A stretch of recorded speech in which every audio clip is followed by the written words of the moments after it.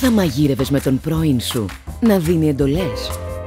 Μήπως θα τολμούσες να το κάνεις με το κουμπάρο σου; Θα έφτιαχνες τη συνταγή που θα σου έδινε η κουνιάδα σου. Όλες οι σχέσεις χωρούν σε μια κουζίνα για δύο. Έρχεται